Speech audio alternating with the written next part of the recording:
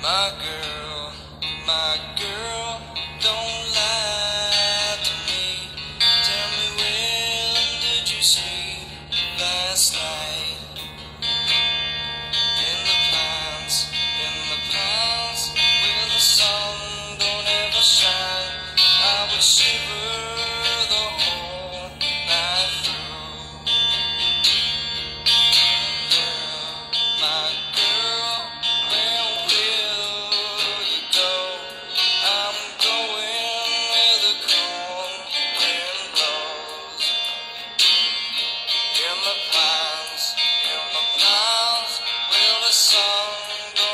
shine.